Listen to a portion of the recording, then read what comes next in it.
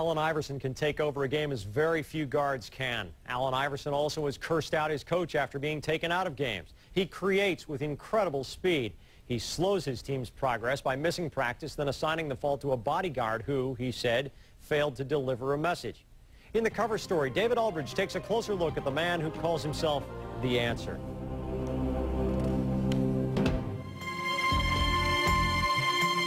There is no gray with Allen Iverson. He is either saint or sinner, immature to a fault or wise beyond his years.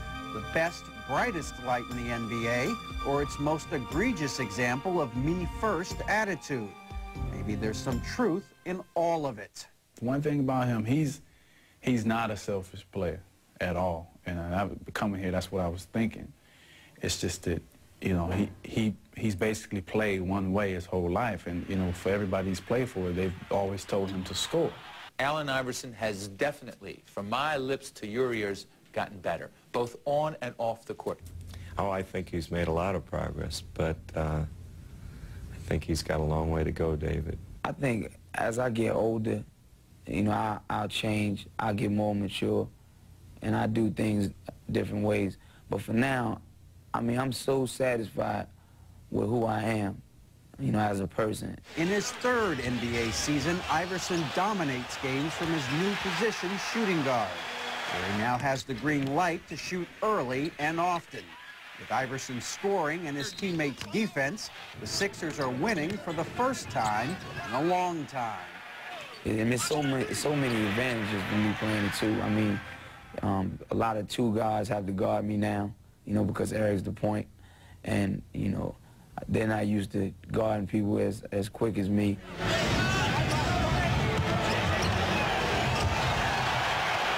At times, he could be an Isiah and let other people get involved, recognize who needs the ball, who hasn't had a shot in a while, you know, control the pace of the game. And at other times, like Michael, take over and not only create for himself, but be in a position to make other players around him better. The floor, Iverson has also taken more control of his life.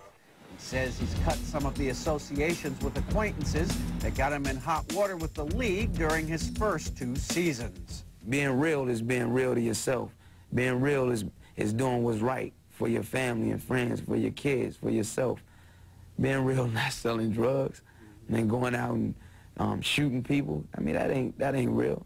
Nah, you can't hang with me. I, I haven't changed, but nah, you can't hang with me because you're doing the same old stuff. But Iverson is still a work in progress. He's been late for a few practices this season.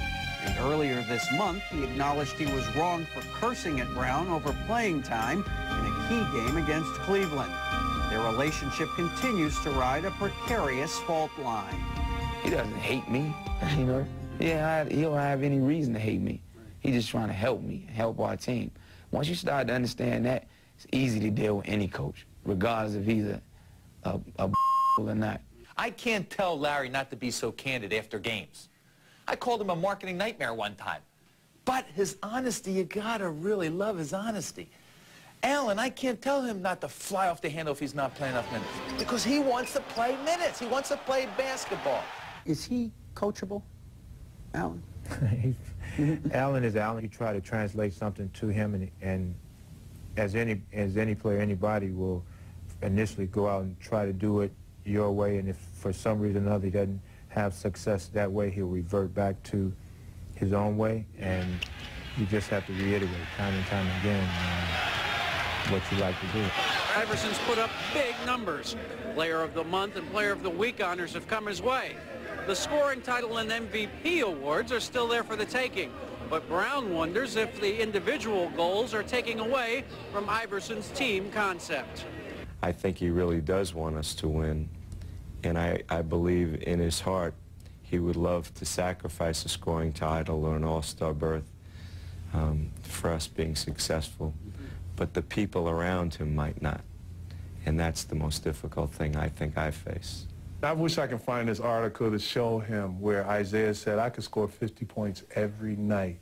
But in order for me to win a championship, I have to set my values in a team aspect. But the Sixers know that they'll only go as far as Iverson can take them. It won't matter if the ride is bumpy as long as their charismatic leader leads them somewhere. Playoffs would be a nice start. I made mistakes and, and I have to deal with it. But I think over time, you know, people will start to accept me and they'll start to understand me a little bit more. So I'm just being patient with that. David Aldridge reporting. The question about the answer is, does Iverson check the stat sheet before he examines the standings?